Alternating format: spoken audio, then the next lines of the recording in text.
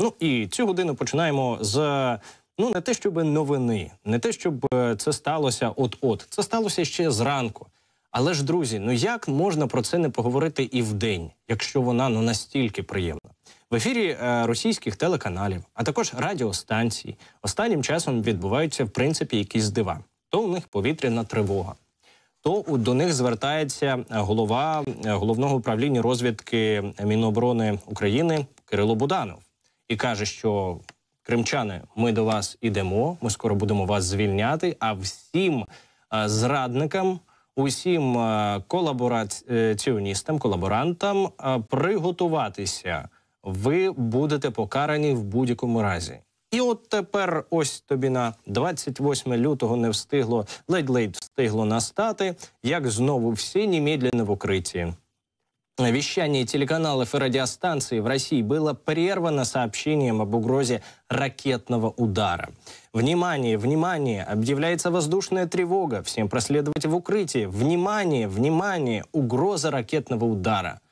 Як же приємно. Е, Ви знаєте, я би з задоволенням сам, якщо треба, е, озвучив би якісь такі ролики для росіян. Ну я би постарався максимально артистично це зробив би, аби вони відчули, що таке повітряна тривога, що таке бавовна, що таке взагалі тривога, що таке очікування ракетного удару.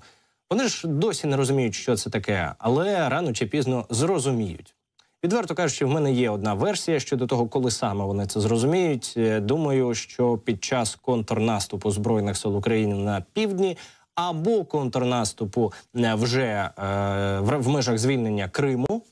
е, Тимчасово окупованого буде буде дуже і дуже буде дуже і дуже активна робота повітряної бавовни на території Росії. Ну так би мовити, для додаткового психологічного ефекту. Чому не сталося цього 24 лютого і навколо 24 лютого хвилин за 15 будемо говорити з військовим експертом Олегом Ждановим. Обов'язково дочекайтеся, хочеться почути відповіді на ці запитання, бо справді очікування на бавовну на території Росії у багатьох людей були, і в мене також були. Ну мається на увазі в районі 24 лютого. Хоча, якщо сьогоднішній день, 28 лютого, також вважати ну от в районі 24-го, то в принципі ну десь до певної міри. А ці новини справджуються, тому що над Адигією республікою на секундочку, це глибинка російська, над е, Пітером, так званим, а це ну відносно України, це точно глибинка. Знову літають якісь НЛО. З'являється план кавьор. Ну, це так росіяни називають той план, в межах якого вони мають перехопити, нібито повітряні об'єкти над е, цими територіями. Е, Знову забороняють польоти. Ну самі собі забороняють польоти, а також тим компаніям, які досі здійснюють польоти на територію Росії.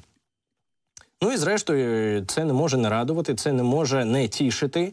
Ну і це власне, це власне і тішить.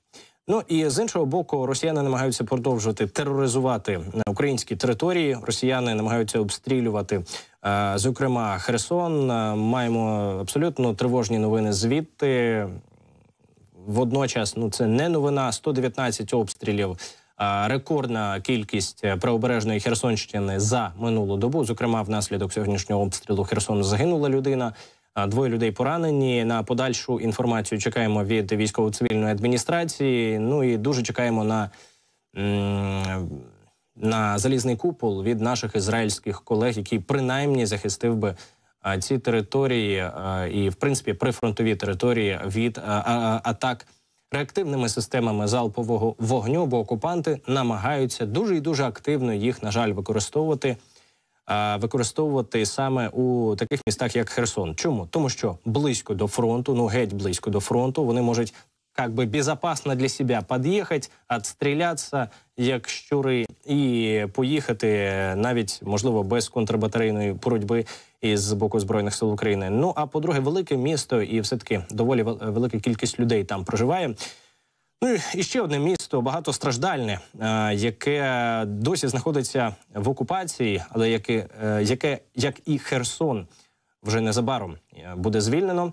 Це Мелітополь. От власне про нього будемо зараз говорити. Там а, перелякані перелякані росіяни розвішують листівки про можливі ракетні обстріли збройних сил України.